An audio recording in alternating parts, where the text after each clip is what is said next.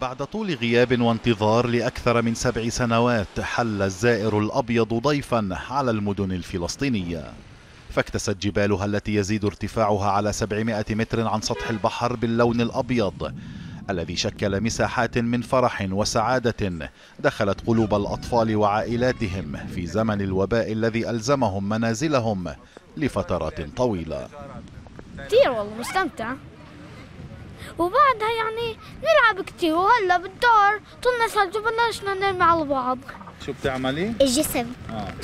شو عشان شو تعملي؟ سنو مان مبسوطة بالثلج؟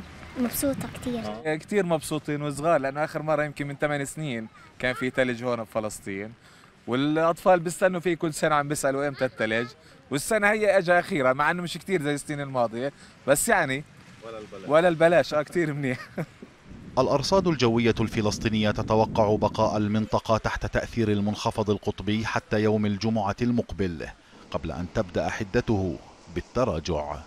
سقطت الثلوج على جبال القدس وجبال بيت لحم ورام الله. والجبال العالية في مدينة نابلس. يعني الحمد لله الثلوج سقطت على مختلف المناطق التي يزيد ارتفاعها على 700 متر. يوم الجمعة ليلا ينتهي تأثير المنخفض الجوي على البلاد.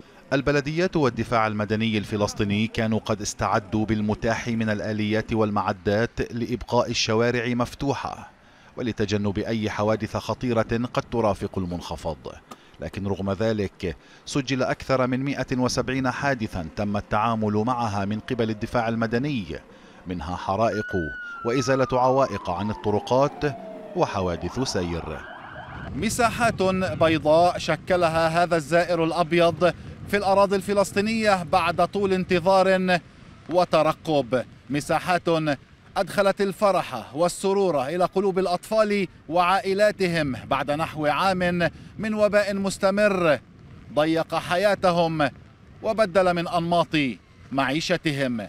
فراس لطفي سكاي نيوز عربية رام الله.